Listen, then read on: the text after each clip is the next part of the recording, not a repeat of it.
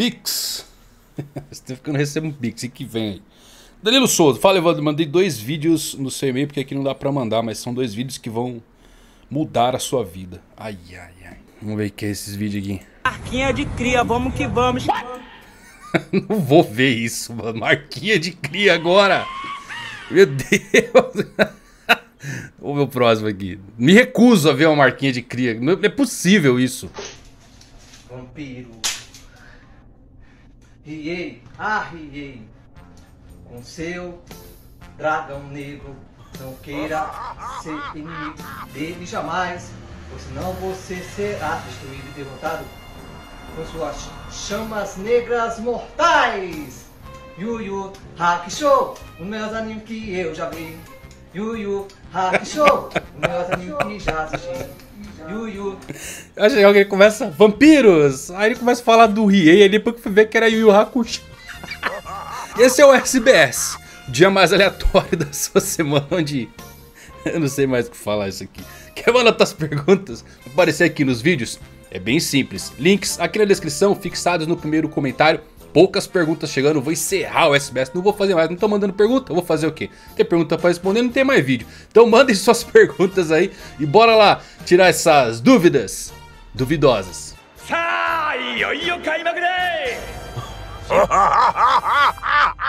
Começar aqui com a do William XT. Supondo que Big Mom é uma experiência fracassada do Vegapunk ou do governo mundial e que ela tenha comido a Madre Carmel e adquirido seus poderes de Akuma no Mi, seria possível que o governo estivesse tentando criar uma arma que roubasse poderes de usuários ao devorá-los, só que acabou fracassando por conta dos ataques de larica dela. Então por isso Big Mom tem essa fome descontrolada e também torna ela a única que consegue obter poderes ao comer outro usuário de Akuma no Mi. Olha, eu vou ser sincero, eu tinha essa esperança de Big Mom ser um experimento realmente do governo mundial. Não acho nem do Vegapunk por conta da idade dela mas eu diria talvez do governo, porque eles tinham um projeto de gigantificação antes do Vegapunk entrar em cena. Então é um experimento que eles já fazem há pelo menos é uns 100 anos ou mais. E Big Mom seria muito legal, porque ela é uma humana, mas completamente fora da lógica. Nem mesmo o Kaido chega muito próximo de explicar o que é Big Mom, é porque o Kaido ainda pode ter essa coisa do Oni. Eu adoraria que fosse um experimento, mas a questão agora é, será que teremos tempo para uma explicação sobre o que é Big Mom, já que ela foi derrotada?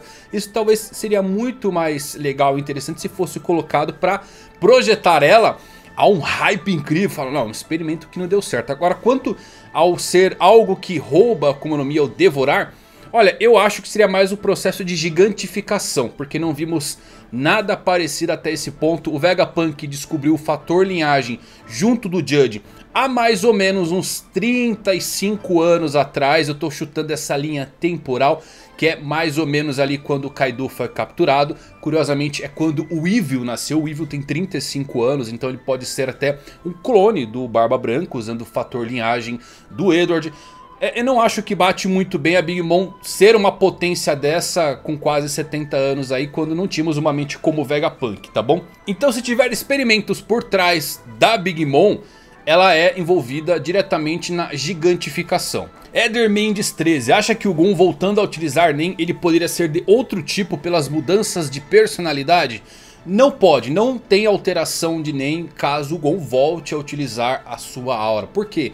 Porque é como uma impressão digital, isso não altera. O Gon ele está muito longe da categoria que pode levar ele a um especialista. A exemplo, geralmente está em congelador e manipulador e o Gon está completamente oposto a manipuladores. Então pense nisso como o seu DNA, como a sua digital. É impossível mudar de categoria e geralmente quem tem a predisposição para ser um especialista começa em outras categorias, mas aí já é uma coisa também ligada à sua genética, tá bom? Então o Gon eu acho muito difícil, visto até que a sua categoria está completamente oposta ao especialista. Agora quanto às outras, transmutador, não, isso aí é muito complicado. Lembre-se, claro, que é, qualquer usuário de NEM quando treina pode utilizar outras categorias, mas você vai decaindo um pouco a sua potência. Então o Gon ele é um aprimorador a 100%, então ele pode usar transmutação ou emissão a 70%, 60%, inclusive ele já utiliza até a emissão. É mais ou menos assim que funciona, tá bom? João Gabriel Franco, Luffy vai manter os poderes despertos mesmo na forma base? Não, como você mesmo disse, são poderes do despertar, ligados diretamente a esta forma, alteração de ambiente e controle dos poderes através da imaginação. Somente no Gear 5 ele consegue ter o alcance e o potencial da sua fruta, que inclusive, se você ainda não viu, fiz o um vídeo aí com uma revelação para lá de interessante, aonde foi confirmado que o Luffy, quanto mais ele ri, mais poderoso ele fica. Isso é perfeito para o personagem Monkey de Luffy, porque ele está sempre sorrindo em batalha, tem toda essa convicção de um D que ele carrega, o epítome do que é ser um D, do que é sorrir. Quanto mais ele ri, mais forte ele fica. Só que o despertar só funciona realmente nessa forma. Vamos lá, Letícia Pieper. E se na verdade o Touro Verde for do mesmo pensamento do Fugitor e acabar ficando do lado do Luffy? Afinal, ele e Isho parecem amigos enquanto conversam na Reverie. Olha, na verdade, se você pegar lá, Letícia, tem uma fala anterior deles conversando ali cordialmente que o Green Bully diz que o Akainu mandou ele capturar o Fugitora. E o Fugitora falou, ó, você quer tentar?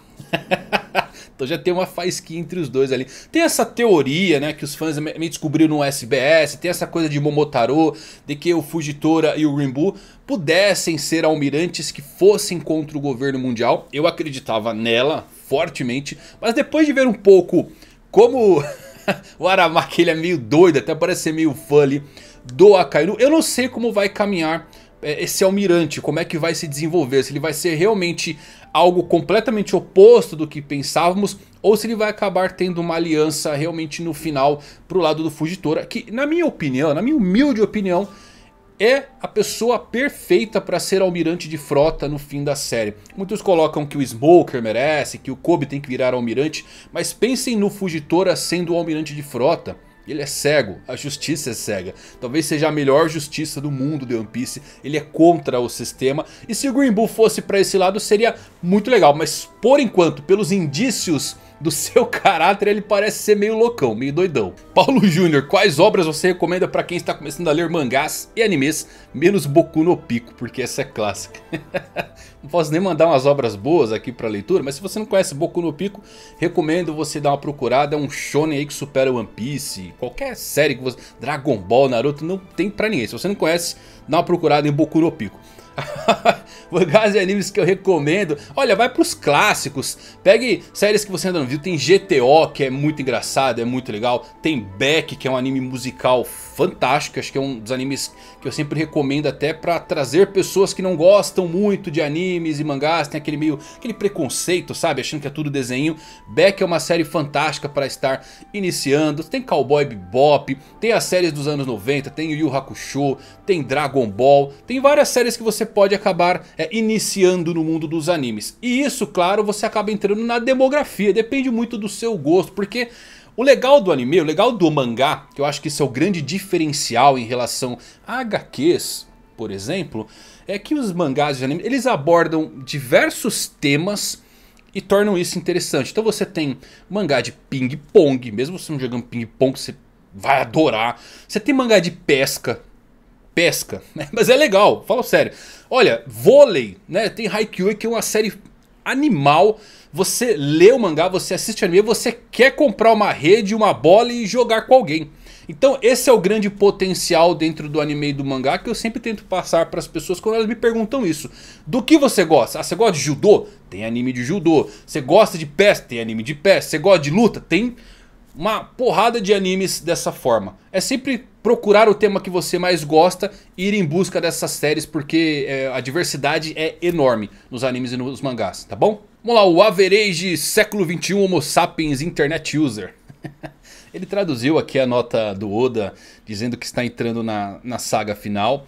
Eu acho muito legal isso, até coloquei no vídeo de ontem que eu fiz dos 25 grandes mistérios, né? Que o Oda ele se preparou por 25 anos para começar a história e acho legal que ele coloque aqui, a partir daqui é One Piece. Talvez as pessoas não tenham entendido muito o que o Oda quis dizer nessa nota de a partir daqui é One Piece. É que galera, o One Piece na concepção inicial ele era curto, ele era bem curtinho, só tinha os Yonkous como inimigos. Não tinha Chichibukais, não tinha tudo isso que Oda queria. Até os supernovas não existiam, pior geração. E foi virando esse grande monstro. Então, esses 25 anos até agora, até o final do arco de Wano, foi uma composição que Oda foi tirando enquanto ele escrevia. E a partir desse ponto, são as ideias originais do que deveria ser One Piece. Entramos na saga final. Sim, está caminhando para o fim. Quantos anos vai durar? Difícil dizer, talvez 2, talvez 3, talvez 5, quem sabe 10. Eu adoraria que fosse 15 ou 20 ou Mas é isso, estamos embarcando agora na saga final, a história original e é por isso que a partir daqui esse é o One Piece, só mistérios sendo revelados. Inclusive veja o vídeo que eu fiz aí dos 25 maiores mistérios em comemoração aos 25 anos da série, vou deixar o link aqui no card. Rafael Melo, você tem grandes amigos que às vezes se juntam e fazem uma live pra falar sobre One Piece, tipo o Bruno Bandeira. Quem disse que o Bruno é meu amigo? Cavalo. Meu amigo não, gosta daquele cara não, mano. Você é diferente dos outros, porque raramente trabalha com os spoilers que saem durante a semana, material que os outros usam. Porque você também não cria material em cima dos spoilers? É por respeito aos seus seguidores? Particularmente eu prefiro esperar o review da sexta. Rafael, obrigado. É, quando eu comecei o canal, é que assim galera, o One Piece hoje se tornou um monstro muito incontrolável. Mas quando eu comecei o canal e toda a galera também estava começando ali, spoilers em si era uma coisa que não tinha tanta relevância assim. Um ou outro fazia um videozinho aqui, tipo, previsões, né? Ali o spoiler fazia previsões. Só que assim, o que acontece? É meio que uma coisa midiética, né? No falar de spoilers. Eu não acho legal, não acho que é um vídeo que acabe agregando tanto. E por que, que eu tô dizendo que hoje tá descontrolado? Porque hoje as pessoas fazem, sei lá, análise de spoiler. Eu inicialmente é, pegava muito spoiler falso. Então as pessoas colocavam... Eu lembro que tinha um spoiler colocaram que o Green Bull e o Vegapunk apareceram no mesmo capítulo e a galera ficou maluca. Só que hoje tá muito descontrolado, até porque por conta dessa coisa do TikTok, o próprio YouTube... E não é uma linha que eu gosto de entrar, tem outros assuntos mais legais pra falar, tem do Punchman, tem Hunter x Hunter voltando, tem o próprio SBS, tem teorias, tem muita coisa mais legal que eu posso trazer pra vocês do que falar de um spoiler, que eu acho né, meio meh. Vou comentar spoilers aqui, tem gente que não gosta, então sim, é grande parte por respeito a vocês, mas também porque é uma coisa que não faz parte do meu processo de criação. Eu leio spoilers, obviamente, porque faz parte do meu trabalho, não nego isso, mas eu vejo apenas para me situar do que vem por aí, porque eu só trabalho no vídeo em si quando sai o capítulo. Então sexta-feira, de madrugada, eu leio e começo a escrever. Fora isso eu não pego nada, nada, nada desses spoilers para trabalhar em cima, tá bom? Então sim, é por respeito a vocês, não tem mais essa parte ética assim de não quero abordar spoilers. De vez em quando eu pego um quando é muito bombástico, tento fazer um vídeo em cima, acho que fiz dois vídeos assim uma vez já, mas sem entrar necessariamente no spoiler, apenas para falar como isso vai mudar a série e tal. Tá bom? Mas nada contra quem faz, eu acho que as pessoas podem fazer o que elas quiserem. Eu por enquanto prefiro ficar assim. Mas quem sabe um dia eu acabe entrando aí pra dar spoiler pra vocês. Não, vou fazer isso não, pode ficar tranquilo. Tiago Made in Heaven, você acha que os chapéus de palha vão pra God Valley em algum momento antes do fim da obra? É uma excelente pergunta porque acabamos entrando na questão agora de qual é o próximo arco da série. Que agora acabou o ano e aí, o que, que vem agora? Vai ser um arco voltado para os chapéus de palha? Vai ser um arco fora dos domínios de Luffy pode ser voltado aos revolucionários, pode ser voltado ao Shanks, a outros personagens, termos alguns desfechos. É bem possível que tenhamos sim um mini arco acontecendo meio como reveria ali, fora do holofote focando os chapéus de palha. O que, que, pode acontecer agora? Tem aquela cena do anime que eu acho muito legal é, relembrar, do log pose congelado. O Monte Fuji em si deu ano foi pouquíssimo explorado. O que eu acho legal é que o Oda ele fez o maior arco de One Piece. foi o maior arco, foi insano, muita coisa. E aí estamos agora no final e não temos respostas de nada. só, só mistérios adicionados. Eu achei que teria um monte de respostas, mas parece ter um pedaço do One Piece que pode ser Pluton. Ó, Pluton tá em Wano, sim. Zunisha chegou e foi embora, as fronteiras não foram abertas, ou seja, não tivemos resposta de nada agora em Wano, coisas que vão aparecer aos poucos. Mas ainda tem essa parte, né, eu tava falando do Monte Fuji, desse log pose congelado. O único lugar que pode estar isso, se for em Wano, é ali no topo dessa montanha, que pode acabar sendo um log pose que direciona para onde estava sim God Valley, tá? Mas pode ser o próximo arco em si, um arco sobre God Valley inteiro, eu acho que ele pode acabar fazendo parte de um outro arco. Ser uma junção, enquanto eles navegam, eles param nessa ilha e a partir disso vão para Elbaf. Pela lógica, Elbaf seria o próximo arco da série, sem dúvidas, porque nós temos muitos mistérios relacionados à Ilha dos Gigantes. Temos Yggdrasil, temos o, o Loki, né? Temos toda essa coisa dos gigantes também ligados ao deus do sol. Eu ainda acho até inclusive que é pela Yggdrasil que o Shanks consegue se mover rapidamente, porque você vê que a árvore sobe e pode ser conectado diretamente lá em Skypiea. Se você for olhar lá o pé de feijão gigante, são umas raízes enormes. Da onde que vem aquilo lá? Porque não sobe do chão, né? Então vem de cima. Pode ser que Yggdrasil é, dê Elbaf. Porque se você não viu, tem uma árvore gigante lá. Olha lá, ó, tá vendo no cantinho? Tem uma árvore enorme ali. Pode ser que essa árvore ela se conecte a vários pontos do mundo de One Piece através de ilhas no céu, o que seria interessante, cai bem nessa mitologia de estar ligada a outros reinos, né, a árvore de Yggdrasil. Então tem muita coisa para acontecer agora, até porque árvores sabemos que em One Piece são deveras importantes. Temos Eva, Adão, árvore do conhecimento e agora tem essa árvore enorme aí de Elbaf eu mudei completamente de assunto. Você perguntou de God Valley, estou falando de árvores, somos nós. O próximo arco, qual vai ser? Eu acho que um mini arco. Um mini arco aí para mostrar os acontecimentos de Sabo. E depois partimos para Elbaf e depois disso podemos ter um vislumbre maior de God Valley, tá bom? Vamos lá, o Kenderson Felipe Aguiar Freitas, o que você acha da ideia de, diferente do Rei dos Piratas, o Luffy não rir em Laugh Tale? Olha, pensa o seguinte, você quer saber por que o Roger riu, você quer participar dessas risadas, desse tesouro deixado por Joy Boy. Então pensa dessa forma, porque todos ficaram curiosos. Por que o Roger Hill? Eu quero ver também. O Oda atiçou a nossa curiosidade com esse mistério do que é tão engraçado. Agora pensem em todos os fãs esperando isso. O Luffy chegando e ele não rindo. Não achando engraçado. Talvez seja um pouco anticlimático para o que o Oda criou com a reação do Roger.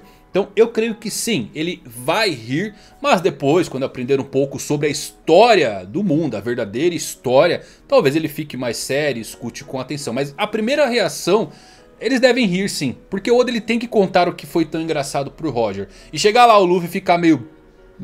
né? Que, que é isso aqui na minha frente vai ser anticlimático. Não vamos, não vamos ir porque vamos acompanhar o protagonista. A recompensa do Luffy vai superar a do Roger antes ou depois do Luffy derrotar a marinha e o governo mundial. Porque se ele derrotar ambos, quem vai pagar mais de 5 pela cabeça do chapéu de palha?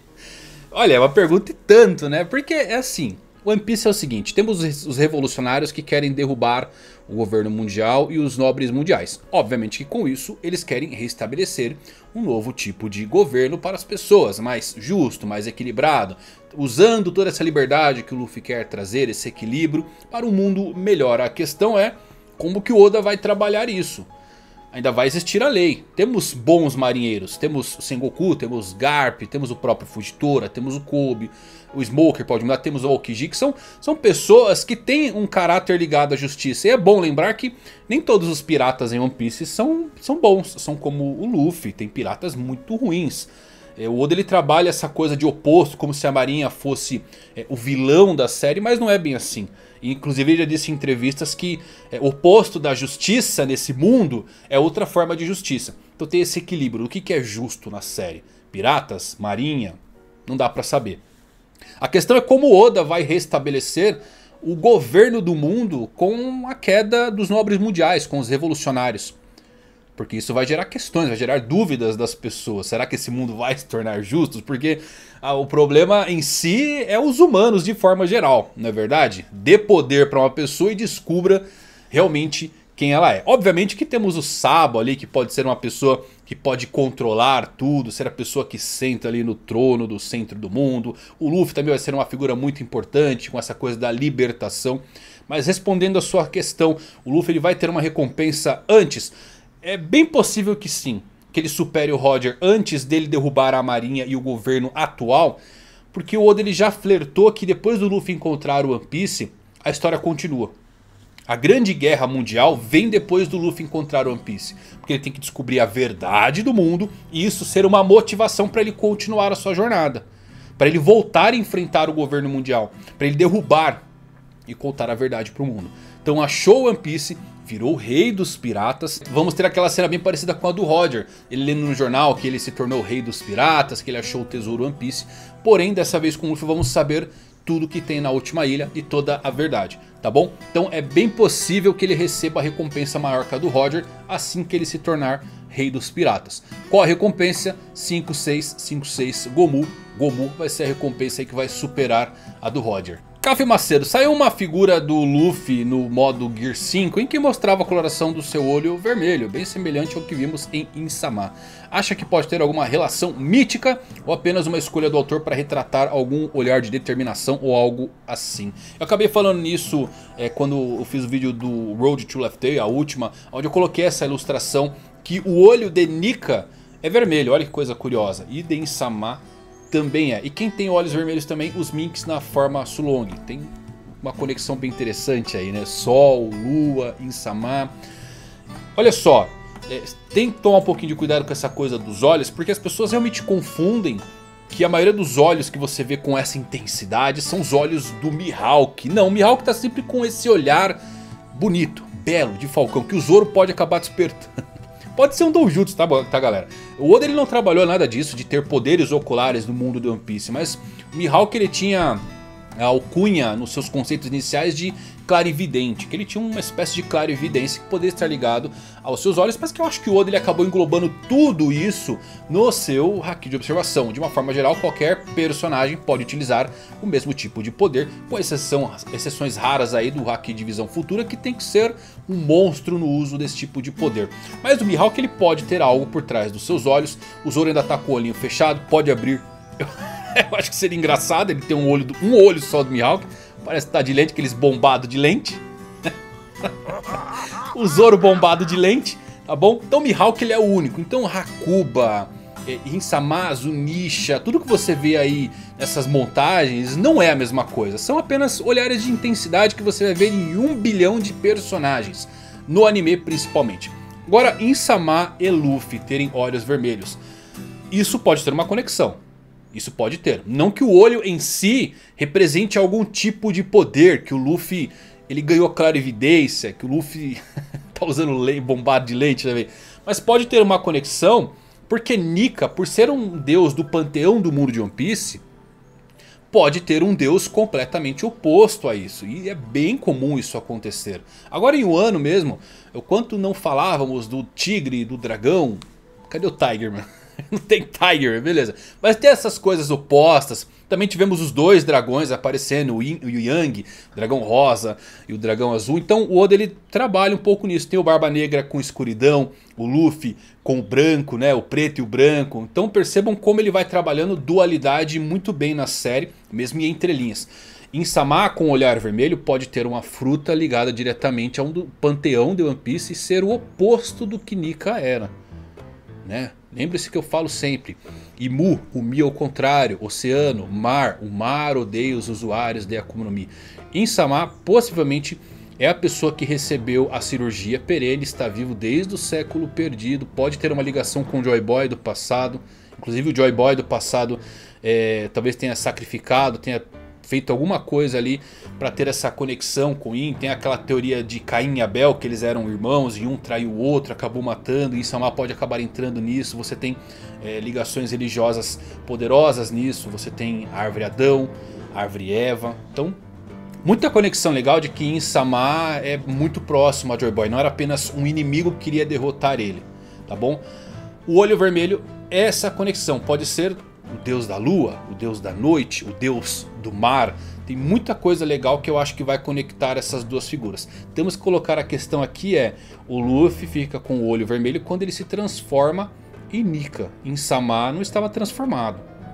Parece que tem um olhar daquela forma sempre. Mas ele pode ser também, sei lá, uma criatura primordial será a criatura, a pessoa, o que quer que ele seja, que deu origem às Akumas no Mi e não necessariamente seja parecido com qualquer coisa que já tenhamos visto. Então ele está sempre na sua forma desperta, tá? Então eu acho que Insama vai ter uma fruta assim que vai ser o oposto principalmente de Nika. Barba Negra também já está rondando por aí, né? Tem essa teoria também dele ser esse representante, que faz até sentido, mas não dá para descartar Insama como sendo a figura é, final o grande inimigo final da série The One Piece. E é isso, bastante perguntas respondidas, espero que vocês tenham gostado, chegou até aqui um salve especial. Deixa sua pergunta aí pro SBS, poucas perguntas, vou parar com o SBS, eu vou parar, não tem pergunta, vou colocar um vídeo de spoiler no lugar. É isso, espero que vocês tenham gostado, até a próxima, valeu por assistir, fui!